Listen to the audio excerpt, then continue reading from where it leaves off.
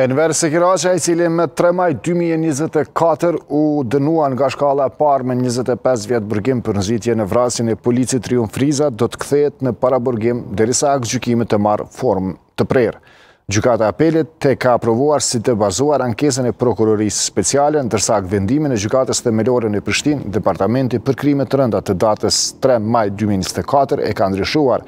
ashtu që të pandehurit E.S., i është caktuar masa e paraburgimit, e cila do të zgjasë derisa aktgjykimi të merr formën e prerë, por jo më shumë se koha e dënimit të shqiptuar, me aktgjykimin e Gjykatës Themelore, thuhet në njoftimin e apelit. I akuzuari Enver Sekiraqa me 3 maj 2024 për herë të tretë pas kthimit të rastit në rigjykim u dënua me 25 vite burgim për nxitje në vrasjen e policit Triumf Riza.